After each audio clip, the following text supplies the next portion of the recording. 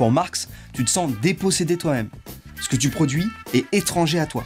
On dit que tu es aliéné par ton travail. Et d'ailleurs, pour Marx, c'est pire avec le progrès technique, puisqu'il dit que la facilité même du travail aidé par la machine devient une torture en ce sens que la machine ne délivre pas l'ouvrier du travail, mais dépouille le travail de son intérêt.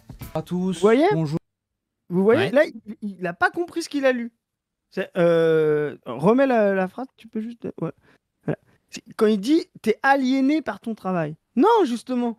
T'es aliéné par le capital. Voilà. Le travail ne t'aliène pas. Mais ce que fait justement euh, euh, le rapport capitaliste, c'est que il sépare le travailleur de son travail. Voilà. C'est ça l'aliénation. C'est qu'il sépare, comme je vous le disais, il sépare le travailleur de euh, concevoir l'objet, l'améliorer, etc.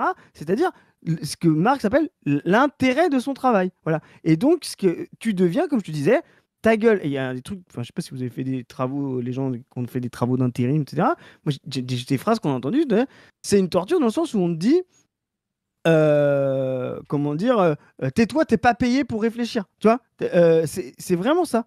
Euh, et là, dans ce que dit Marx dans cette phrase, c'est qu'il montre bien que ça devient une torture, tu vois, parce que la machine, c'est elle qui guide le travail, toi, tu es au service de la machine, voilà, et donc tu n'as plus l'intérêt de fabriquer un produit, de bien le finir, de l'améliorer, de le rendre vraiment efficace, utile, etc.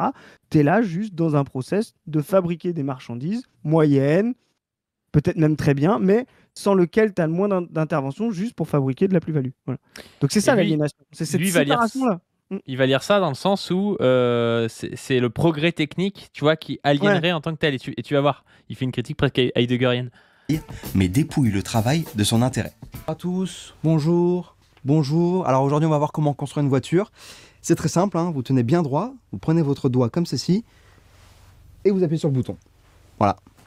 Voilà, très simple. On Mais c'est pas ça l'annulation, espèce de débile, putain C'est n'importe quoi Là, c'est n'importe quoi, là.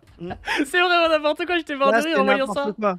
Là, c'est n'importe quoi. Parce que là, typiquement, c'est, ça voudrait dire, euh, mais là, c'est typiquement que c'est, euh, c'est, c'est Marque décroissant.